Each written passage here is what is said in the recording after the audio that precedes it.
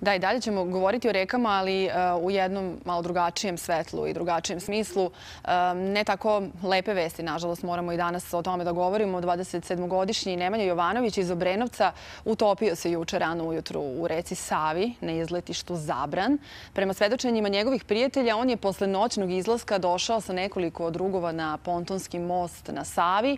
Tu su odlučili da se okupaju, skočili su u vodu, ali Nemanja nije isplivao.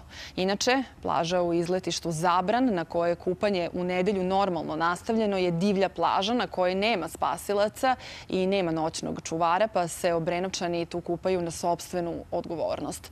Mlađi Obrenovčani često posle noćnog izlaska dođu na plažu i tu nastave druženje uz alkohol. Slična situacija je i na Beogradskoj Adici Ganli, na kojoj noću radi mnogo kafića, mnogo klubova i tu se često događaju ovakve stvari da mladi ljudi pod dejstvom alkohola požele da se okupaju, što se već nažalost nekoliko puta kobno završilo i naš Slobodan Cagić je upravo danas na Adici Ganli i, e, i proverava šta je važno da znamo i još jednom apelujemo na sve da vode računa kada se kupaju na divljim plažama. Slobodane?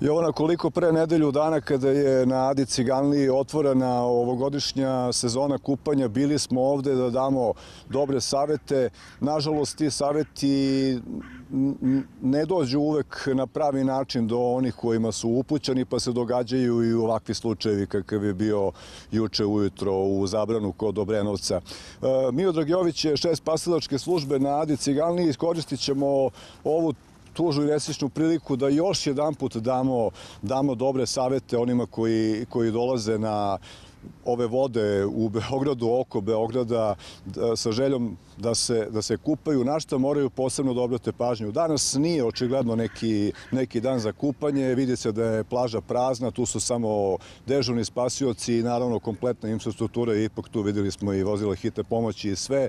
Na što treba obratiti pažnju, recimo, da li danas možemo doći nadu da se kupamo? Ono što prvo moram naglasiti jeste da, nažalost, ovakvih slučajeva svake godine sve više i više.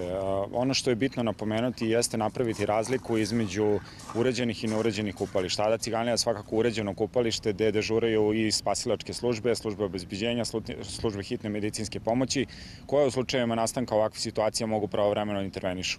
Konkretno za Savsko jezero važe pravila, odnosno da se boravi u zonama koje su dozvoljene za kupanje, odnosno koje su ivičene plažnom ogradom, da se ne pokušava preplivavanje jezera, da se naglo ne ulazi u vodu, da se ne ulazi u vodu pod dejstvom alkohola, psihoaktivnih substanci i da se poštuju svi saveti spasilaca. E sada, rekli ste mi da je danas ovde podignuta crvena zastava, što znači da je zabranjeno kupanje. Zbog čega?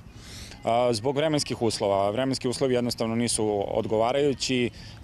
Vetar zaista jako duva, da bilo je olojno nevreme sinoć, tako da za sada mi smo procenili za upravo Ade Ciganlije da bezbednost na kupalištu nije sasvim odgovarajuća, bez obzira na to na, naše spasilačke ekipe su i dalje tu. Takođe, kao što ste rekli, tu je služba hitne medicinske pomoći, tu su sve one službe koje su potrebne da pruže bezbednost na kupališta, ali apelujem na posetioce da tokom ovakvih dana ne ulaze u vodu Savskog jezera. E sad dolazimo na, na glavno pitanje. I ovaj događaj na, na plaži u Obrenovcu i mnogi drugi dogodili su se u ranim jutarnjim satima posle najverovatnije popijane izvesne količine alkohola. Postoji li neki način da se ti mladi ljudi e, e, spreče da se na taj način rizično ponašaju? To je zaista opasno kada, kada popiješ više i kada poželiš da se okupaš usred noći u jezeru ili na reci.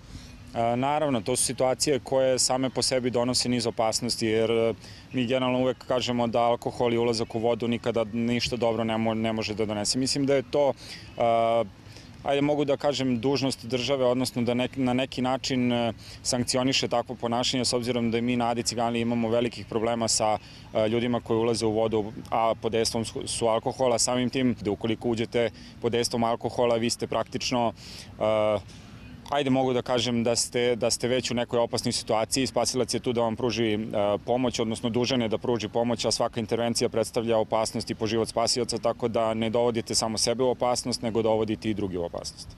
Mio Dragiović, šest spasilačke službe Nade Ciganli. Hvala vam najviše.